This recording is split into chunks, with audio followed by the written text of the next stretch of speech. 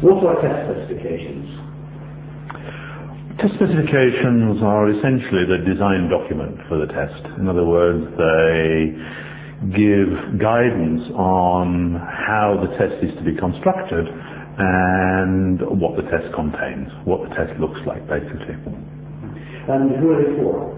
They're intended for a variety of different audiences. I mean, fairly obviously from what I've said, uh, they must be aimed at test users uh, to give people who are going to use the test uh, an idea of what it's about, what level it's at, what it's intended for, and so on, so that they know whether it's appropriate to take it or to teach students towards it. So test users, teachers and students in particular.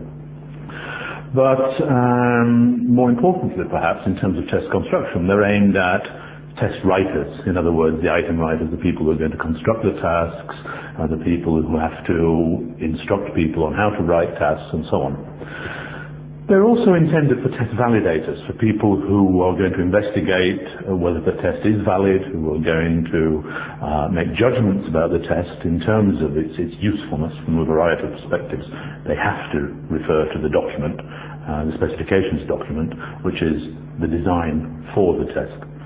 And finally, they're intended for the general public, so that the general public can be informed about the test and, and, and what it's intended to do and how it's intended to measure it.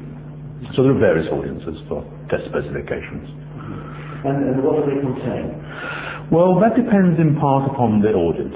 Um, fairly obviously, a document that is aimed at the general public will be couched at least in less technical language than the document that's aimed at item writers. And it'll be shorter. It'll be intended to be intelligible to the average person. Um, whereas test specifications written for item writers will uh, be fairly technical and much more detailed. Any test specification, be it for item writer or for the general public, should contain information about test purpose. What is the aim of the test? Uh, what is it intended to say about language ability in the case of language tests?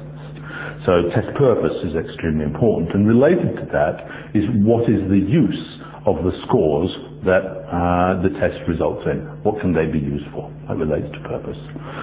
Also, ideally, they should also say what should the test scores not be used for to avoid test misuse. That's perhaps less common. Um, test specification should define the test taker. Who should take this test, who is the test intended for, and who is it not intended for, what age of candidate, what educational background, or what intentions might the candidate have in the future uh, if the test is intended to say something about the test taker's ability to do something in the future. So test purpose and test taker are important to define.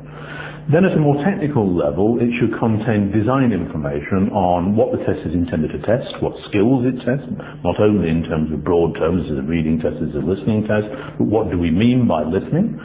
How does the test define the listening? What sorts of texts are on, on the test? uh, what might be their topics, their difficulty levels, uh, their lengths, what types of texts are they, if they're recorded texts, what sorts of recordings are they, what sorts of situations do they come from, what functions do the texts have, and so on.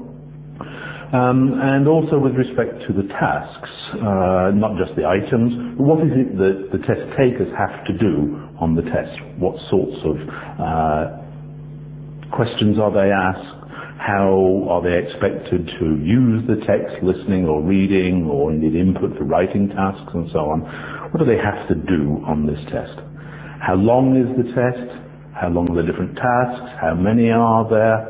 And so on. In, in essence, anything that an item writer would need in order to be able to write an adequate test for the purpose for which it's defined by the specifications.